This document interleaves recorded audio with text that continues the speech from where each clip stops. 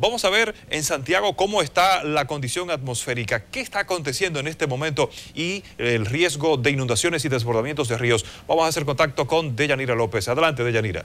Saludos, muchas gracias. El desborde de ríos cañadas sigue afectando a sectores de Santiago. Estamos en el sector Los Salados, donde la cañada ha desbordado y ha inundado a decenas de casas aquí en la localidad. Es por esto que miembros de la Cruz Roja y otros organismos de socorro se encuentran presentes dando soporte y brindándole ayuda a estas familias. Vamos a conversar aquí con una de las personas. Saludo, estamos para NSDN. ¿Cuál es su nombre? Marisa. Marisa, la situación, ¿desde qué hora están ustedes aquí? De las 2 de la mañana. Sea, que no han podido dormir. No, levantarse, esperando ese, ese aguacero. Las camas se me dañaron, las hijas mías y todo, yo estaba encaramado porque me dañaron todo adentro. ¿Cuáles otras autoridades, además de la Cruz Roja, han venido? Yo veo eso solamente ahora. Nadie. Nadie ha venido eso solamente ahora.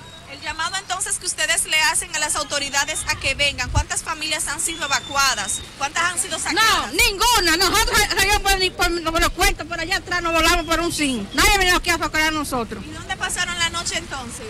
En la calle. En la calle, en la calle, y de la hija mía allá. Arriba los sacos, ahí arriba, ve, ahí arriba. Esto ocurre cada vez que llueve. Cuéntenos un poco de lo que han vivido aquí. La caña, eh, la Ca caña azul. Cada vez que llueve, esto es una cosa grande que no se puede vivir. Tenemos que dejar todo botado. Muchísimas gracias. Como podemos ver ahí viene alguien sacando un refrigerador, esto tratando de salvar a alguno de los de los ajuares que que pueden correr peligro aquí. Como siempre sabemos, la población a veces arriesga su vida para salvar entonces alguna de sus pertenencias. Vemos que uno de los vehículos de la Cruz Roja Dominicana está ingresando aquí a esta zona. Vamos a tratar de conversar con alguno de los miembros. Caballero, ¿cuál es la situación que hay aquí? Vamos a utilizar el vehículo a ver si logramos eh, sacar un tronco que está, auto, está eh, tapando el puente y se está desbordando por arriba. Estamos tratando de sacarlo para que la, el agua pueda fluir por abajo. ¿Cuántas viviendas exactamente han sufrido inundaciones aquí en este sector? Bueno, no tenemos el número exacto todavía. Pero preliminarmente. No, no te puedo dar ese dato porque no, no tenemos la cantidad todavía.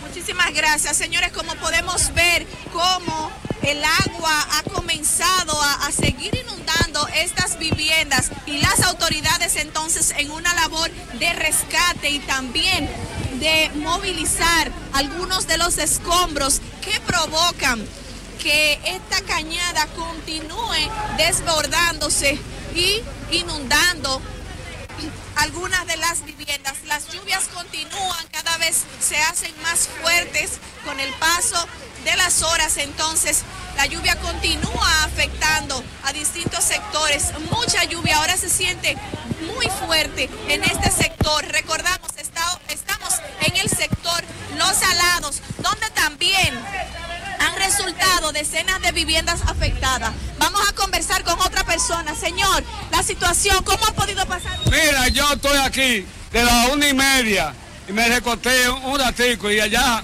a las tres y media ya yo estaba en pie, sacando toda esta gente de aquí. ¿Cuánta gente han sacado de aquí? Bueno, de aquí se ha sacado más de, de 50 gente. ¿De Ah, ¿tú- tú de ves? forma voluntaria o las autoridades han venido? Eh, yo no la he visto. Nosotros estamos, ves, tú ves que todavía estamos sacando nevera y sacando cosas.